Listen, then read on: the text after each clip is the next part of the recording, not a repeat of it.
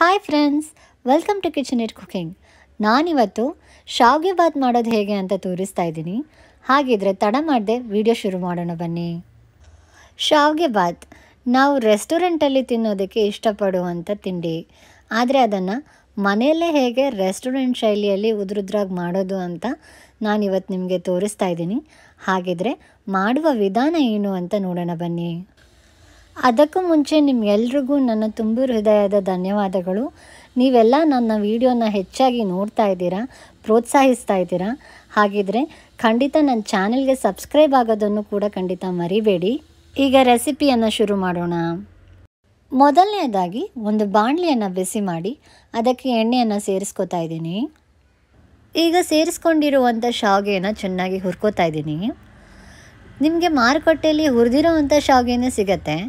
ಆದರೆ ನೀವು ಈ ರೀತಿ ಹುರ್ಕೊಂಡು ಮಾಡೋದ್ರಿಂದ ಶಾವಿಗೆ ಬಾತ್ ತುಂಬ ರುಚಿಯಾಗಿ ಆಗುತ್ತೆ ನೋಡಿ, ಶಾವಿಗೆ ಈ ಬಣ್ಣಕ್ಕೆ ಬರೋವರೆಗೂ ಚೆನ್ನಾಗಿ ಹುರ್ಕೋಬೇಕು. ಈಗ ತರಕಾರಿಗಳನ್ನು ಹೆಚ್ಕೊಳ್ಳೋಣ. ಈರುಳ್ಳಿ, ಕ್ಯಾಪ್ಸಿಕಮ್, ಟೊಮೊಟೊ ಮತ್ತು ಹಸಿಮೆಣಸಿನ್ಕಾಯಿನ ಹೆಚ್ಕೋತಾ ಇದ್ದೀನಿ. ತುಂಬ ಸಣ್ಣದಾಗೇನು ಹೆಚ್ಕೊಳ್ಳೋದು ಬೇಡ. ಮೀಡಿಯಮ್ ಸೈಜಲ್ಲಿ ಹೆಚ್ಕೊಳ್ಳಿ. ತರಕಾರಿ ಹೆಚ್ಕೊಳ್ಳೋದೇ ಸ್ವಲ್ಪ ಸಮಯ ಹಿಡಿಯುತ್ತೆ. ಇಲ್ಲಾಂದರೆ ಈ ರೆಸಿಪಿ ತುಂಬ ಬೇಗನೆ ಸುಲಭವಾಗಿ ಮಾಡ್ಬೋದು. ತರಕಾರಿಗಳನ್ನೆಲ್ಲ ಹೆಚ್ಚಿದ ನಂತರ ಒಂದು ಪಾತ್ರೆಯನ್ನು ಹೀಗೆ ಬಿಸಿಗಿಟ್ಕೋತಾ ಇದ್ದೀನಿ. ಅದಕ್ಕೆ ಎಣ್ಣೆಯನ್ನು ಕೂಡ ಸೇರಿಸ್ಕೋತಾ ಇದ್ದೀನಿ. ಎಣ್ಣೆ ಕಾದ ನಂತರ ಅದಕ್ಕೆ ಸಾಸಿವೆಯನ್ನು ಹಾಕೋತಾ ಇದ್ದೀನಿ.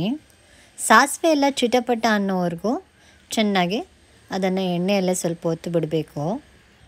ನಂತರ ಅದಕ್ಕೆ ಕರಿಬೇವಿನ ಸೊಪ್ಪು ಮತ್ತು ಹಸಿಮೆಣ್ಸಿನ್ಕಾಯಿನ ಹಾಕೋತಾ ಇದ್ದೀನಿ. ಸ್ವಲ್ಪ ಕಡಲೆಬೇಳೆಯನ್ನು ಕೂಡ ಸೇರಿಸ್ಕೋತಾ ಇದ್ದೀನಿ. ಈಗ ಅದನ್ನೆಲ್ಲ ಎಣ್ಣೆಯಲ್ಲಿ ಸ್ವಲ್ಪ ಹೊತ್ತು ಚೆನ್ನಾಗಿ ಹುರ್ಕೊಳ್ಳೋಣ. ಈ ಹಂತದಲ್ಲಿ ಹೆಚ್ಚಿಟ್ಕೊಂಡಿರುವಂಥ ಈರುಳ್ಳಿಯನ್ನು ಕೂಡ ಸೇರಿಸ್ಕೋತಾ ಇದ್ದೀನಿ. ಹಾಕಿರುವಂಥ ಈರುಳ್ಳಿ ಎಲ್ಲ ಚೆನ್ನಾಗಿ ಸಾಫ್ಟ್ ಆಗೋ ತನಕ ಈ ರೀತಿ ಬಾಡಿಸ್ಕೋಬೇಕು. ಈಗ ಇದಕ್ಕೆ ಸಣ್ಣಕ್ಕೆ ಹೆಚ್ಚಿಟ್ಕೊಂಡಿರುವಂಥ ಟೊಮೆಟೊವನ್ನು ಹಾಕೋತಾ ಇದ್ದೀನಿ. ಹಾಕಿರುವಂಥ ಟೊಮೆಟೊ ಎಲ್ಲ ಸಾಫ್ಟ್ ಆಗೋ ತನಕ ಅದನ್ನು ಕೂಡ ಚೆನ್ನಾಗಿ ಎಣ್ಣೆಯಲ್ಲಿ ಬಾಡಿಸ್ಕೋಬೇಕು.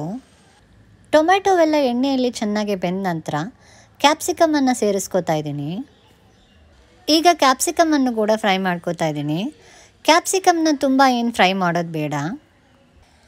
ಈಗ ಕ್ಯಾಪ್ಸಿಕಮ್ ಎಲ್ಲ ಫ್ರೈ ಆದಮೇಲೆ ಅದಕ್ಕೆ ನೀರನ್ನು ಸೇರಿಸ್ಕೋತಾ ಇದ್ದೀನಿ. ನೀವು ಶಾವಿಗೆಯನ್ನು ಎಷ್ಟು ತೊಗೊಂಡಿರ್ತೀರೋ ಅದಕ್ಕೆ ಎರಡರಷ್ಟು ನೀರನ್ನು ಹಾಕ್ಕೊಂಡ್ರೆ ಸಾಕು. ಇಲ್ಲಾಂದರೆ ಶಾವಿಗೆ ಮುದ್ದೆ ಥರ ಆಗಿಬಿಡುತ್ತೆ. ರುಚಿಗೆ ತಕ್ಕಷ್ಟು ಉಪ್ಪನ್ನು ಸೇರಿಸ್ತಾ ಇದ್ದೀನಿ. ಈಗ ಹಾಕಿರುವಂಥ ನೀರು ಒಂದು ಕುದಿ ಬರೋ ತನಕ ಕಾಯ್ದಿದ್ದು, ನಂತರ ಅದಕ್ಕೆ ಹುರಿದಿಟ್ಕೊಂಡಿರುವಂಥ ಶಾವಿಗೆಯನ್ನೆಲ್ಲ ಸೇರಿಸ್ಕೋಬೇಕು.